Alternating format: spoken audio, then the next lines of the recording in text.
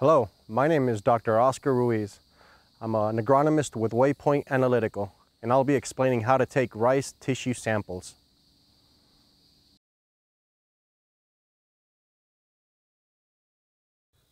When determining when and how to take a tissue sample, it is important to consider two, the two approaches. One is the diagnostic approach, where you're taking a sample, identifying an area of the field that is problematic or is bad, and using a reference sample from a good or unaffected portion of the area. The next approach, monitoring, requires regular tissue sampling throughout the season. This will allow us to evaluate our fertility program, search for any hidden hungers, and perform any in-season corrections.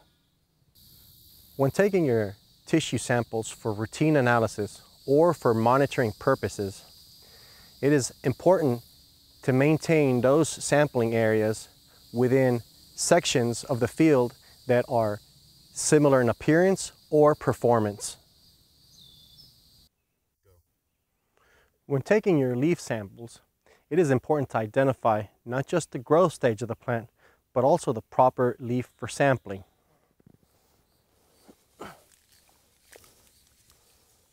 As an example, I pull out this plant. Identify the main stem.